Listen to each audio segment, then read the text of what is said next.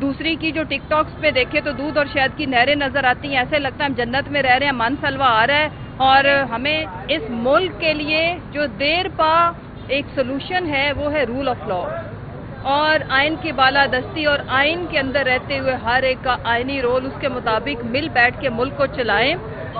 اور جتنا ہم خان صاحب کو جانتے ہیں، میں ہر اپنی میڈیا ٹاک میں یہ بات کرتی ہوں کہ پاکستان کی خاطر، وہ پاکستان کے لیے صرف ایک ہی مطالبہ ہے کہ جو ان کا مینڈیٹ ہے، جو عوام کا مینڈیٹ ہے، اس کو رسپیکٹ کریں اور سارے بیٹھ کے آگے بڑھیں۔ ان شاء اللہ تعالیٰ آپ انہیں مثبت ہی پائیں گے، کیونکہ ان کا ایک ہی جو نظریہ ہے وہ یہ ہے کہ پاکستان کو بہتری کیسے دی جائے، پاکستان کے اندر حقیقی آزادی کیسے لائی جائے رول آف لا کو کیسے انشور کیا جائے۔ اور جہاں تک بات ہے استحکام، تو ہم سب کو پتا ہے، یہاں پہ بچہ اور بے وقوف کوئی بھی نہیں ہے کہ استحکام کے لیے جو پہلی ریکوائرمنٹ ہے، اس کو پورا کرنے کے لیے ہمیں اگر اس ملک میں جمہوریت ہے تو جمہور کی آواز کو سننا پڑے گا، نہ کہ ہم اس کو مزید شدت سے بند کریں۔ نہ کہ یہ کوئی سلوشن نہیں ہے کہ پارٹی پہ پابندی لگا دیں۔ پابندی لگائیں گے تو عوام کی سپورٹ تو وہیں کی وہیں موجود ہے۔ وہ تو کسی اور، وہ تو مریم، نواز، شہباز، زرداری کے پاس نہیں چلی جانی۔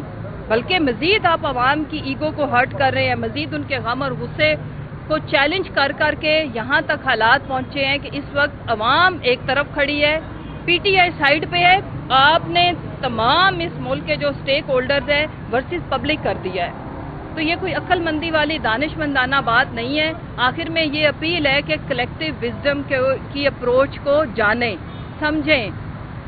کوئی کسی قسم کی پابندیاں، کسی قسم کی فستائیت جو کلیکٹیو وزڈم ہے اس کو بدل نہیں سکتی۔ اور جو عوام، جو باشعور عوام، اور اب تو جو حالات لوگوں کو فیس کرنے پڑے ہیں، اس میں سارے ہی باشعور ہو چکے ہوئے ہیں۔ تو ان کو بار بار چیلنج کرنا، اس کی تصدیق کرنا، اور اس کو سنب کرنا، ڈنڈے کے زور پہ۔ جیسے کہ وہ ماشاءاللہ سے مہارانی اٹھتی ہیں وہ صرف یہ کہتی جن پہ پابندی لگا دو، ان کو مار دو اور عوام کو سمجھانے کی کوشش کیا۔ ٹک ٹاک کے تھرو کی جاتی ہے کہ جی وہ ملک کے لیے خطرہ اس لیے۔ مجھے جی، آپ نے ووٹ نہیں بھی دیا، میری سترہ سیٹیں بھی ہیں تو ہمیں قبول کر لو۔ یہ تماشے ہیں۔ یہ تماشے بند کریں۔ پاکستان ان نوٹنکی بازوں نے، انٹرنیشنل ایک جو کمیونٹی ہے، اس کے آگے ہمارا تماشا ہر روز بنتا ہے۔ یہ تماشا بند کریں اور اصل تماشا جو اس ملک کے اندر بھوک کا ناچ ہے جو بجلی کے بل نہ دینے کے اوپر خودکشیاں ان کو سمجھیں۔ اور ان کو سمجھنے کے لیے ایک درد مند دل اور اللہ کی سے ہم پوری قوم دعا کریں کہ اللہ ان کو وہ آنکھ دے جو ان کو دکھائے کہ پاکستان کے اندر جو جو فیملی، پوری فیملی چوبیس چوبیس گھنٹے کام کر رہی ہے، وہ دو وقت کی روٹی کھانے سے قاصر ہے۔ کیوں؟ اس کیوں کا کا حل ڈھونڈیں، جواب ڈھونڈیں۔ آ کے اسٹیٹمنٹ دے دینا، ماشاءاللہ شہباز شریف صاحب کے جی ہم برآمدات اتنی کر دیں گے اور ہم اور دوسری کی جو ٹک ٹاکس پہ دیکھے تو دودھ اور شہد کی نہریں نظر آتی ہیں۔ ایسے لگتا ہے ہم جنت میں رہ رہے ہیں، من سلوا آ رہا ہے۔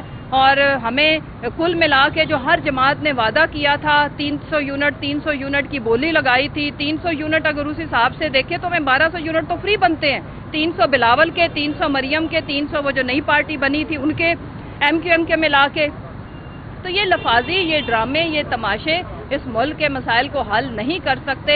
حل کے لیے درکار ہے کھلا دل، کھلی سوچ اور ایک ایسی آنکھ جو اس ملک کے حقیقی مسائل کو دیکھ سکے اور ایک ایسا درد مند دل جو سمجھے کہ اس ملک کے لیے، مسائل کے کو حل کرنے کے لیے ایگو کو سائڈ پہ کریں گے تو مسائل حل ہو جائیں گے۔